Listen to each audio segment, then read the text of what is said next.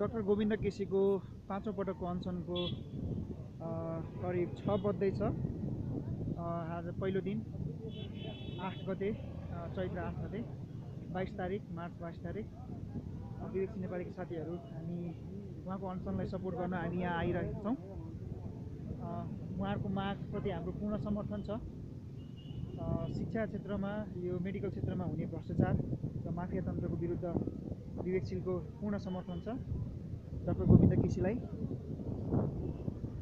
जबसम्म आम नागरिकहरू आफै बोल्दैनन् तबसम्म यो समस्या जहाँको त्यहीँ हुनेछ।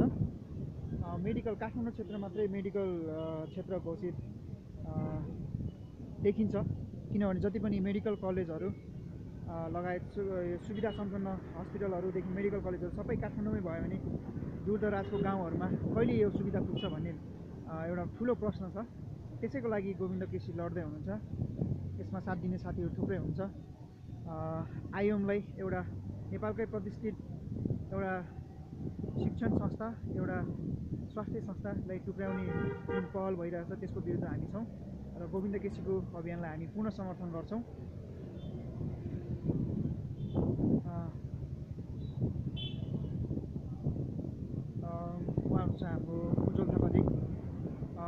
अ, यो अभियानबारे के भनिदिनुहोस् न?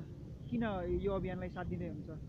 यो अभियान हरेक आम नेपालीलाई छुने अभियान हो किनकि उनीहरूको स्वास्थ्यसँग खेलवाड भइरहेको छ।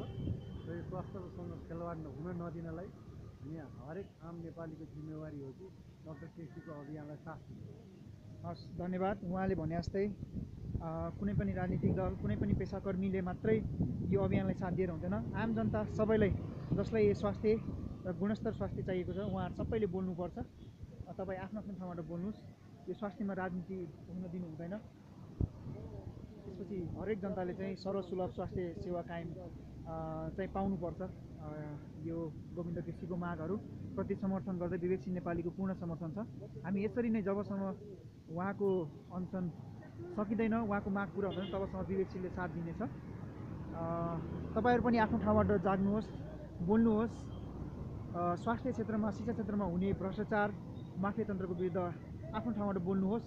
गोविन्द केसीको यस एकदमै सकारात्मक अभियान पुण्य अभियानलाई आफ्नो ठाउँबाट साथ दिनुहोस् र भ्रष्टाचारीहरूको विरुद्ध बोल्नुहोस्। धन्यवाद।